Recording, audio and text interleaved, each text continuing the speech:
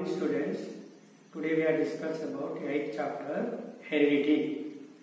In the part of genetics, they introduce heredity.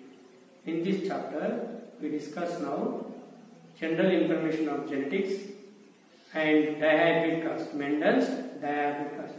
What is genetics?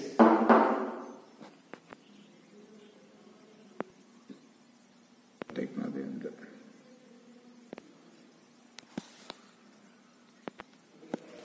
Have already completed, uh, you know, in 10th, uh, 6th chapter, reproduction. All living organism reproduce. All living organism reproduce. Reproduction result in the formation of offsprings of the same kind. In the formation of offspring of the same kind. See, this is the same kind is formed. The resulting offspring need not and most often does not totally resemble the parent. The forming offspring do not look like their parents. Several characters may differ between individu- individuals belonging to the same species. These differences are termed as variations. What are variations? Variation is nothing but different color or different form. The occurrence of an organism in more than one distinct color or distinct form. These are called variations.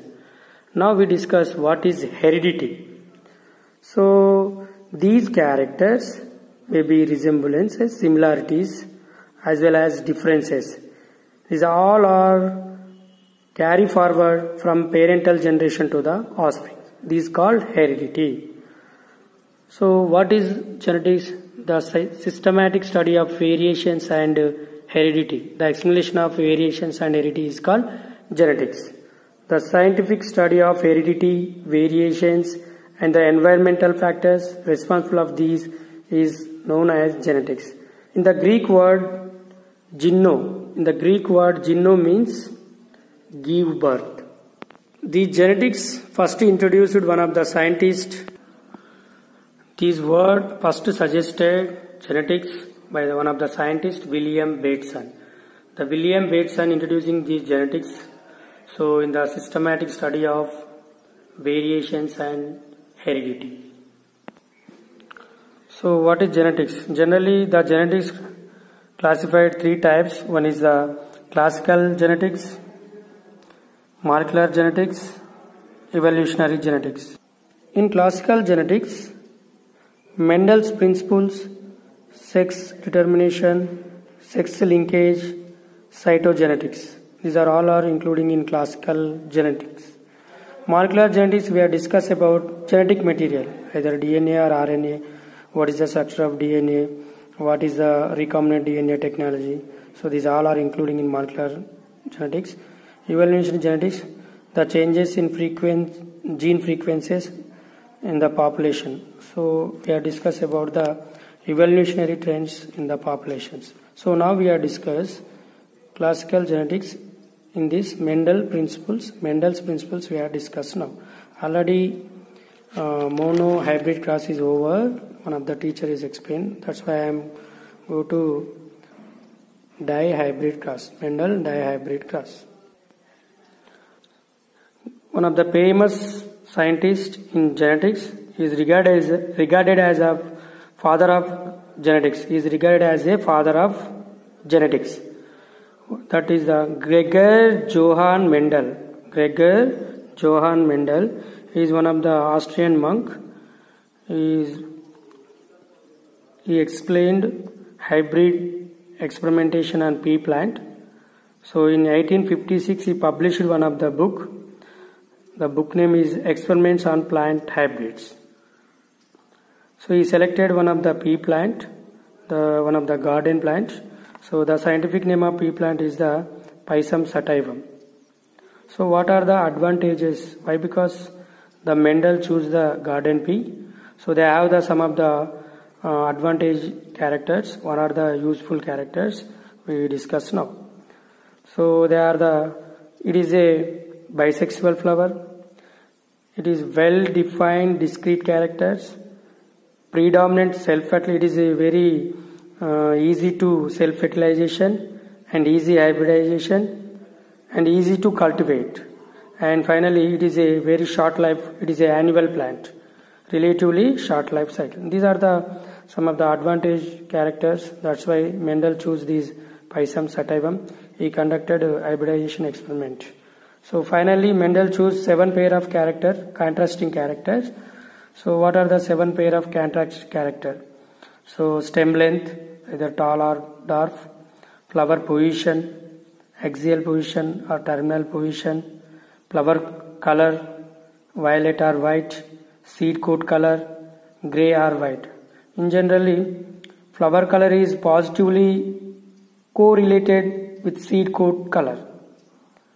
So it is a either flower, flower color or seed coat color. Pod shape, inflated or constricted. Pod color, green or yellow.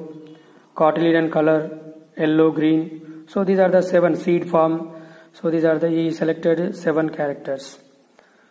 So we know that some of the technical words. What are alleles?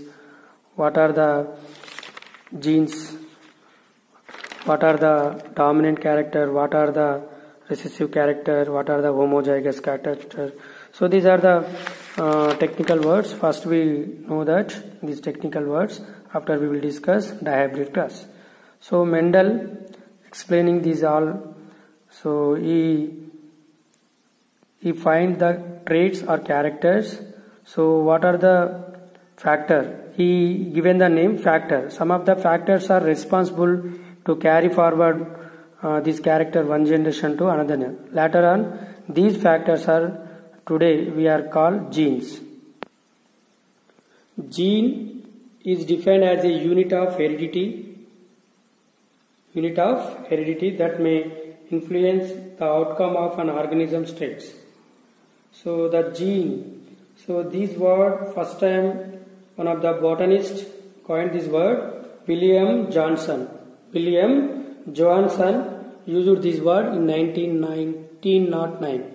William Johannsen used this word genes in 1909. Allele. Each gene may exist in alternative form. Each gene may exist in alternative forms known as alleles. Alleles are genes occupying corresponding positions on homologous chromosome. You see the diagram. This is the homologous chromosome. In these chromosomes, these are the so T, capital T, small t, capital A, capital A, small capital E, capital capital B, capital B, capital C, capital C, small d, small d, capital E, small e. So these are the, okay, we can show these alleles. So each gene may exist in alternative forms known as alleles. These are the alleles. So these are the chromosomes, homologous chromosomes. On these homologous chromosomes, you know that alleles have the same gene. So these are the T, capital T, small t. So you know that capital A, capital A. So these are alleles of the same gene and AB. AB means different genes in the homologous chromosome. And capital C, capital C, same, both are same. These are called homozygous. Homozygous means same. Homozygous, capital C means uppercase means uppercase letter means it is a dominant character. So homozygous dominant alleles. Small d, small d, homozygous recessive alleles Capital E, small e, it is a heterozygous alleles. Okay, whatever. These all alleles are arranged on the homologous, homologous chromosome. So what is dominant character? Know that uh, already uh, a dominant alleles mask hides, masks or hides expression of a recessive allele. When the dominant character is present, the recessive character is not expression. So that's why the dominant character masks or hide the recessive allele that is called dominant character dominant it is a represented by an uppercase letter or big letter and recessive allele means it is only expressing in the homozygous state so are absent of the dominant character. So the recessive character always expressed in the homozygous state. And heterozygous condition it's not expressed. So it is masked by the dominant character. So homozygous. Homozygous means you know that the alleles are the same. Two identical alleles. Homozygous means two identical alleles. There are uh, two types that is the dominant and recessive. Homozygous means two identical alleles. Either they are dominant or recessive. And heterozygous means one of each allele form a particular trait that is a capital T small t, capital Y small y, capital R uh, small r whatever. So these are the homozygous and heterozygous. Now we are going to genotype and phenotype. Genetic makeup is called genotype and phenotype physical appearance is called phenotype. So the phenotype depend on the genetic makeup. So genotype. The phenotype of an individual is depend on its genetic condition or genetic constitution. So what is genotype? Genetic constitution of a individual, an individual for any particular character or any particular trait. So genetic makeup is called genotype. The physical appearance is called phenotype. Finally, the phenotype depend on genotype. So now we are discussed Mendel law of inheritance. So one is the law of independent assortment. Depend on the dihybrid cross. Mendel proposed law of independent assortment. So now discuss what is the uh, dihybrid. In dihybrid cross, Mendel choose two characters. What is dihybrid cross? A cross that involves the analysis of two independent traits. Two independent traits is termed a dihybrid cross. Dihybrid cross. So Mendel selected two pure breed of parents. One is the yellow round seeds, yellow color, yellow color round seeds, and uh, green wrinkled seeds the seed shape and the seed color. These are the two characters are involving. So first of all, parental generation. In this parental generation, uh, Mendel selected two pure breed plants. One is the female, supposed to female yellow round seeded plants and uh, green, male green wrinkle seeded plants. So these two homozygous pure breed plants are selected as a parent so in this parental generation, in the form gamete formation, in the gamete formation, so through the meiosis, the gametes are formed. So half of the gamete are capital Y, capital R. The capital Y resembles to the yellow, the capital R, the seed shape is a round. In the same way, small y green and small r wrinkled. So in the gamete formation through the meiosis division and finally and uh, in the F1 generation, first filial generation, uh, all are the offsprings are yellow round seeded, yellow round seeded. There is no appear of green wrinkled seeds. So what happened in the F1 generation? We allowed to self fertilization. So that is F1 into F1. F1 means so these are the all yellow and round these plants, uh, you know that self-fertilization, due to the gamete formation, these types of gametes are formed. It is a female plant. So through the Punnett square board, so our Punnett, one of the scientists proposed this Punnett square board.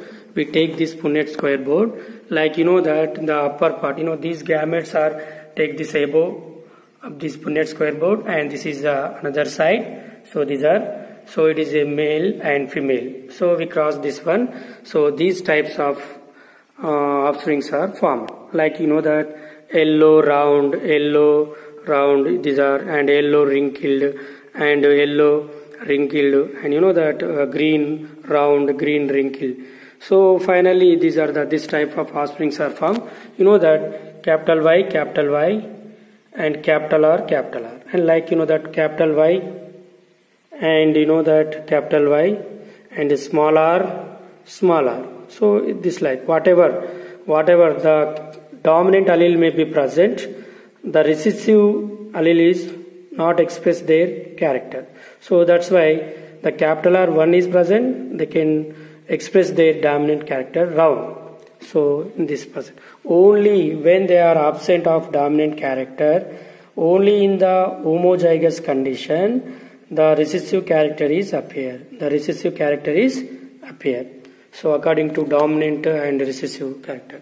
Finally, this type of uh, uh, characters are appear. So what is the genotype and phenotype of uh, F2 generation? So we can observe yellow round one um, Y, capital Y, capital Y, capital R, capital R. This is the homozygous. It is a genetic makeup.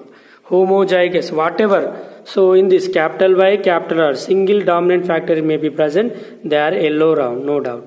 So only when they are absent of uh, dominant character, the recessive character is appear. So we can see capital Y, capital R, round yellow, yellow round 1, yellow round 2. So you see not, yellow round 1 and yellow green round 1 yellow round 2 yellow round 4 so it is a we can see that homozygous yellow round heterozygous yellow homozygous round this is the green homozygous green and homozygous round. Homozygous green and round it is a homozygous yellow heterozygous round. It is a heterozygous yellow and round. Heterozygous yellow round. Homozygous green and uh, sorry ah yes homozygous green and heterozygous round. So homozygous yellow homozygous green uh, wrinkled wrinkled this is wrinkled so that's why homozygous yellow wrinkle homozygous yellow wrinkle it is a heterozygous yellow homozygous wrinkle finally homozygous green and wrinkle. What happened in the F2 generation? The parental character is appear. When we first parental generation, wrinkle green is appear again in F2 generation. So in this dihybrid cross, the based on the dihybrid cross, Mendel proposed independent law of independent assortment. What is independent? So one pair of character do not bend, do not depend on other character. Do not depend on other character. Not always they do not bond. The round also, the yellow not always uh, bond with R. So and also they bond with uh, wrinkle. In the same way, the green character always not bond with uh, wrinkle. They, it is also um, pair with this round so it is a new combinations also appear. Not only uh, green wrinkle, not only yellow round, and the new combination. You know that in the yellow wrinkled, and you know that uh, uh, green round. So these are the new combinations also appear in this F2 generation.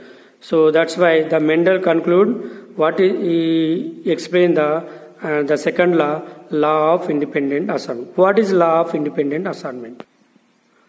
the assortment of genes of one pair is independent of the other pair at the time of gametogenesis. The assortment of genes of one pair is independent of the other pair at the time of gametogenesis. So this is called law of independent assortment.